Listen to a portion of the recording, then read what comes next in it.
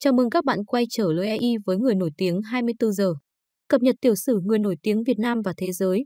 Trong video ngày hôm nay, người nổi tiếng 24 giờ cập nhật thông tin tiểu sử cầu thủ Nhâm Mạnh Dũng gửi đến quý vị và các bạn. Nhâm Mạnh Dũng là một vận động viên thể thao, là cầu thủ bóng đá chuyên nghiệp người Việt Nam.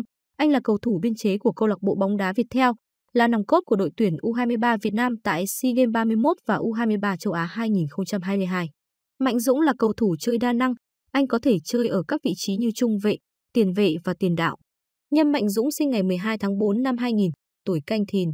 Anh sinh ra và lớn lên tại huyện Đông Hưng, tỉnh Thái Bình, cùng quê với cầu thủ Đoàn Văn Hậu đang khoác áo câu lạc bộ Hà Nội FC và đội tuyển quốc gia Việt Nam. Cũng giống như Văn Hậu, Mạnh Dũng sở hữu thể hình lý tưởng với chiều cao 1m81, cân nặng 81 kg. Sự nghiệp đến với bóng đá của Nhâm Mạnh Dũng bắt đầu từ năm 2011 Thời điểm này anh thi đấu ở giải Nhi đồng cấp tỉnh. Qua giải đấu này Dũng được trường năng khiếu thể dục thể thao tỉnh Thái Bình phát hiện ra tài năng và đề xuất đôn cầu thủ này lên thi đấu cấp quốc gia. Ngay sau đó, Dũng được đôn lên ăn tập và tham dự giải vô địch U11 toàn quốc tại Đắk Lắk.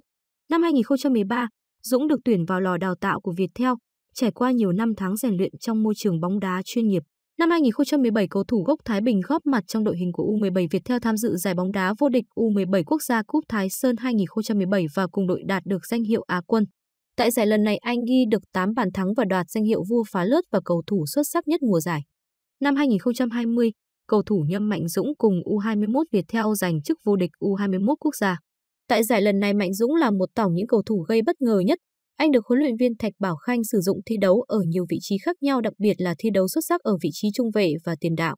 Đặc biệt sau khi giành chức vô địch U21, Mạnh Dũng được câu lạc bộ Viettel đôn lên đội một thi đấu ở năm League 2020 và cùng câu lạc bộ Viettel lên ngôi vô địch. Năm 2022, cầu thủ sinh năm 2000 được huấn luyện viên Park Hang-seo triệu tập thi đấu tại Đại hội Thể thao Đông Nam Á SEA Games 31.